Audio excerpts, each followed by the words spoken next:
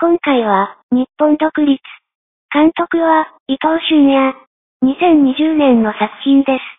太平洋戦争終結後、終戦連絡中央事務局の参与として、日本政府と GHQ の間を奔走した白洲二郎を中心に、米軍の占領下から、日本の真の独立を目指した人々の物語です。出演は、浅野忠信、小林薫、宮沢りえ、江本明、松重豊、渡辺大ほか、